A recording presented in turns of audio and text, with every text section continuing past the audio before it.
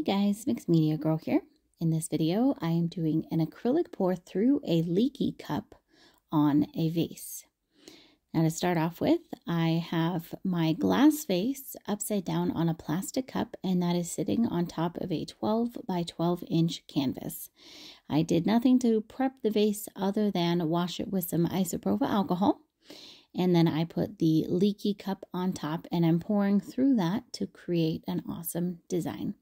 The leaky cup is a 3D printed plastic product that you can get from my website, mixedmediagirl.com. And it is pretty awesome and makes some really cool patterns. I've used it on vases, on tumblers, and then directly on canvases as well. And it creates this really gorgeous flower look. Now here I'm pouring the paints all through there in one direction, but if you like, you can rotate the leaky cup as you go. For this, I specifically wanted to keep it all going in the same direction. I'm using Mixed Media Girl pouring paints, and I'm using all pinks and browns here pretty much. So I've got some white, some razzle dazzle, some electric pink, a little bit of Merlot, um, some chocolate magic, some fairy dreams, and then a little bit of golden sun and a tiny bit of a color that honestly I don't remember the name of, but it's very similar to Merlot and was one of the um, temporary colors that I had in the mystery boxes. So I'm pouring these just one at a time through here pretty slowly and kind of just trying to get a look that I want on both the vase and the canvas.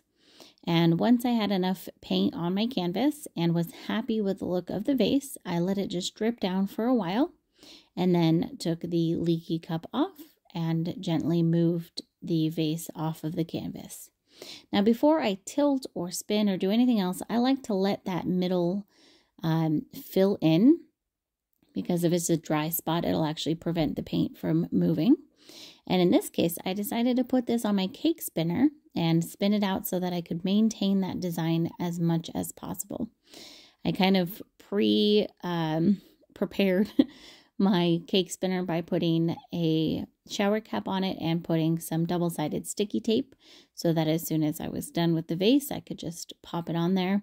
You can absolutely pour the vase on there uh, with the canvas on the cake spinner, but I think it's easier to put it on there afterwards. I don't spin this very hard. The paint really only goes out just a few inches, so don't worry about splattering it all over yourself or your walls unless you spin it very, very, very hard. And I like to spin it the one time and then touch up my corners as much as possible because the paint will flow where there is wet paint. And then spin it as much as you want. It's really up to you, however much you want to stretch out that design. Um, you know, you don't have to just spin for full coverage. I usually will spin it to get the full coverage and then, uh, you know, just continue stretching it as I choose. Now, this is one of my most beautiful vase pours, I think. I am just so in love with all of the colors and the pattern and everything. I just, I think this came out so darn beautiful. So once I got it covered and got the design I wanted, I just let these dry. And here's how they look completely dry. This is the canvas. Now the canvas, I typically will seal with Rust-Oleum Crystal Clear Enamel Spray, but you don't have to, and you can seal it with any kind of varnish or resin if you'd like. Here is the vase, and the vases I always seal with resin because that will keep them protected, make them waterproof, etc. And I think these are both just gorgeous. So, really fun and simple project. I really hope that you guys enjoyed this. Thank you so much for watching, and I'll see you all next time.